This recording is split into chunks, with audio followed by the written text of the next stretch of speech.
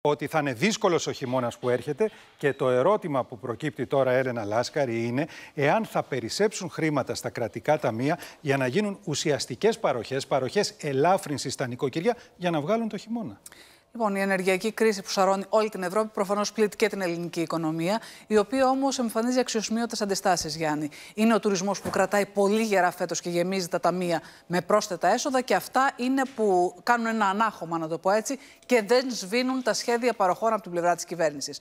Οι πληροφορίες μας λένε ότι ο Χρήστος Ταϊκούρα έχει καταρτήσει μια μακρά λίστα με προτινόμενες παροχές. Είτε θα είναι αυξήσεις ε, επιδομάτων, είτε θα είναι μειώσεις φόρων, είτε άλλες παροχές με έμφαση στους ασθενέστερους και τους νέους, με το θέμα της στέγης που έχουμε αναδείξει από το κεντρικό δελτίο ειδήσεων του ΣΚΑΙ. Και ο Πρωθυπουργός θα κρίνει στο τέλος του μήνα ποιες από αυτές θα ανακοινώσει στη Έχει Θεσσαλονίκη. εξασφαλίσει λοιπόν ο κύριος Ταϊκούρα ότι τα χρήματα υπάρχουν και μένει να δούμε πού θα διοχετευθούν. Με ιδιαίτερη έμφαση στους χαμηλόμισθου και τους χαμηλοσυνταξιούχους, αυτούς που πλήττονται δυσανάλογα από τον υψηλό πληθωρισμό και στην Ελλάδα όπως και σε άλλες χώρες και δεν έχουν περιθώρια άμυνας. Να περιμένουμε λοιπόν εκτός από τα συνήθη το fuel pass, το επίδομα θέρμανσης και κάτι παραπάνω. Και κάτι παραπάνω, το οποίο θα το κλειδώσει ο Πρωθυπουργός προς το τέλος του μήνα. Σε ευχαριστούμε, Έλενα.